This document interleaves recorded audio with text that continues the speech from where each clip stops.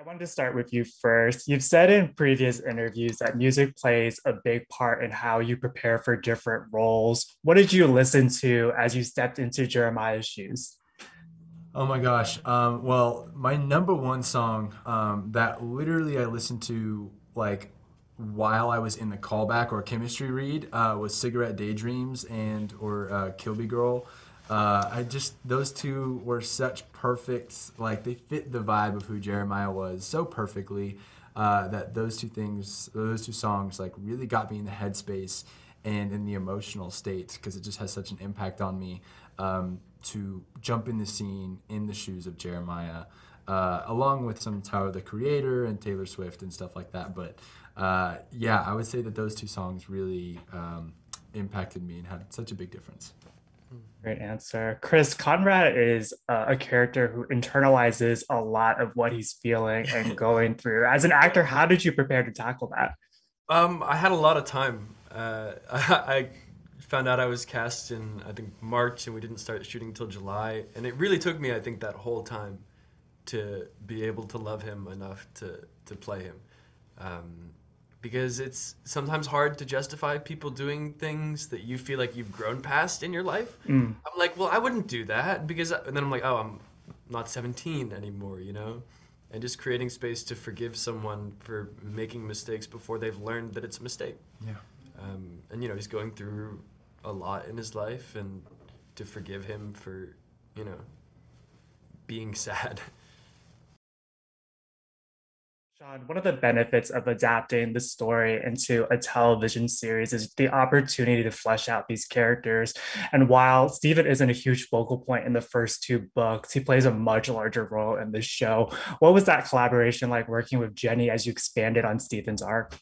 I mean, it was it was unbelievably amazing. Uh, props to Jenny because a she gave me and the entire creative team gave me the the creative liberty and freedom to just make choices and kind of figure out who Steven is because you know he's not really fleshed out as much in the books as, as he is in the show. So I think it was a measure of both of us kind of figuring out who he is and finding out how he would react in these situations and what goes on and and and she Jenny was absolutely amazing. She was there every day on set. So if I ever had a question or or, or I, a, a comment about something, she was always there to talk about it, and she was more than willing to. You know, yeah. Um, this is a, a, question for all three of you, but you know, when you're working on a project that's being adapted from a popular book series, there's going to be comparisons that are made. What's one characteristic of each of your characters that you wanted to make sure was carried over from the books, and what's something new that you brought to each of them? Hmm. That's a great question. I know for myself, right away, I wanted to keep that relationship with Steven and Belly intact. Mm-hmm that sibling rivalry, but it's just surrounded in love, you know, that it always is. And I wanted to keep that, and I really tried to stay true to that. Um, and one thing that I think I brought forward was his ability, his romantic capability, Steven, his ability for love in a romantic capacity mm. uh, for another person that wasn't really explored in the books, but I think was explored in the show. Yeah.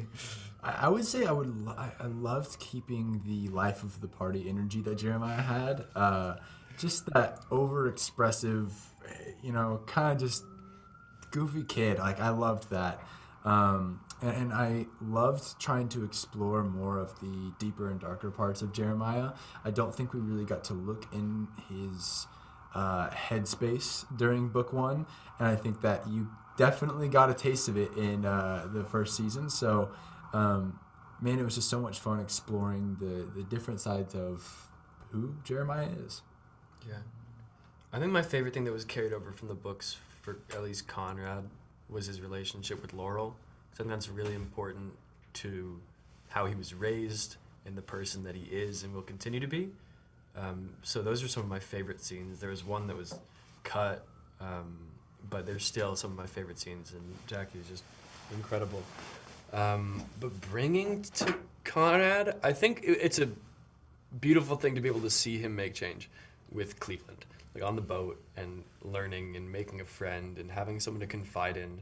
Because that's not something. I mean, obviously, because Cleveland isn't in the books, but it's not something you you get to see Conrad really go through in the books. You know, he goes through change, but you don't really get to witness it, and to I think be able to see it, um, I don't know, it lends some some insight to Yeah. where he's headed and where he's been.